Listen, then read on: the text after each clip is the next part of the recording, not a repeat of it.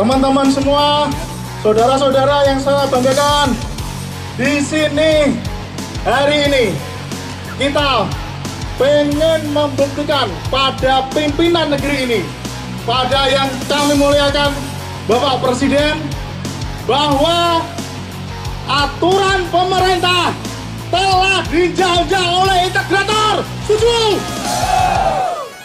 Realita sudah kita rasakan bersama. Undang-undang sudah diterbitkan. Permentan 32 2017.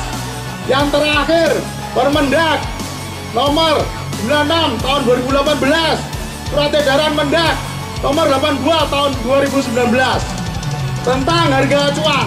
Realitanya apa? Bohong semua, bullshit. Nasab kita tertindas, betul ya? Betul. Ini kita buka sekarang teman-teman bahwa aturan pemerintah pun oleh integrator asing juga dijajah kalau mereka hanya menindas kisah kalau mereka hanya menghisap darah kita betul ya? kita pengen hidup mereka juga pengen hidup. Tapi kenyataan di lapangan apa yang terjadi? Kita punya amanah menghidupi keluarga. Tapi apa yang terjadi nasib kita, usaha kita tinggal sebentar lagi bangkrut, betul tidak? Betul. Tapi mereka malah berkembang pesat.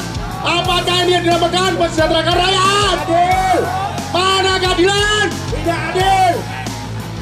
Di sini kita ingin membuktikan teman-teman. Undang-undang sudah ada, payung hukum sudah ada. Realita apa? Dijajah semua.